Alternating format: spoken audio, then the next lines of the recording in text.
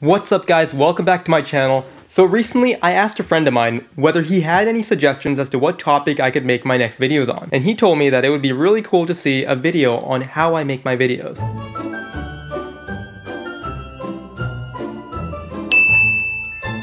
I'm Eesen, a proud graduate of the University of Southern California, and I work as a consultant full-time, but in my part-time, I mentor students and I help them land jobs and internships. Before I jump right into it, I would really appreciate it if you could smash that like button for me and also hit the subscribe button because I do post videos twice a week on topics related to helping students excel. So topic number one, research. I typically spend about an hour researching the topic I'm making a video on. What's helpful is that because I do mentor a lot of students already, I have a lot of knowledge on the subject matter, but I still like to do my research to verify what I'm saying and to make this more informational for all of you. Topic number two, Recording. In the beginning, it took me about an hour to record a 5 to 10 minute video, but now it takes me about 30 minutes to do the exact same thing. And I also record in batches. I typically swap out my shirt so I don't have the same shirt for four videos in a row. And I also used to record two videos on Saturday and two videos on Sunday. But now I've changed to only recording four videos on Sunday just to save time because it does take me about 20 minutes to set the room up with all the equipment in the right place and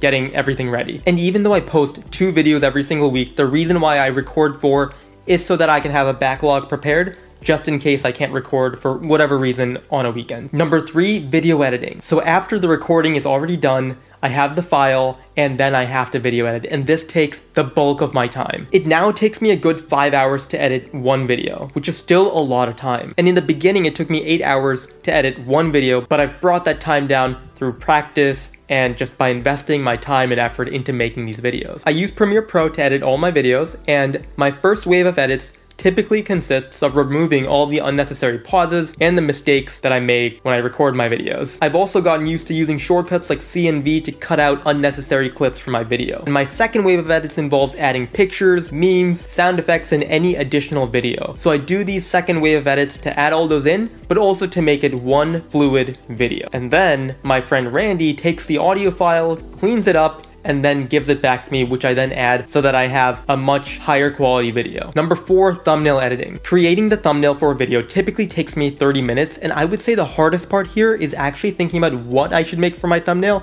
as opposed to the editing itself. Point number five, processing and editing. It usually takes between 15 and 30 minutes for my laptop to process the video, and then another 15 minutes to upload the video to YouTube. And of course, it takes me another 15 minutes to add in the title, and the description, and all those small tasks required to publish the video. And lastly, SEO. By no means am I an expert with SEO, but I am trying to get better at it so that my videos can rank higher. And so I usually spend about 30 minutes making sure that my videos are optimized. So that right there is the process behind me making my videos. It is a pretty lengthy process, but again, practice and repetition is really what gets it down. So if you're someone who's looking to make YouTube videos, just start and don't try to get your videos to perfection. If I look at my first video now, I realize just how many mistakes I made but I wouldn't have been able to fix all those things back then with the knowledge I had. Your videos will gradually get better with time and practice. I hope you've enjoyed this video. Please let me know below in the comment section if you have any questions, and with that, I'll see you in the next video.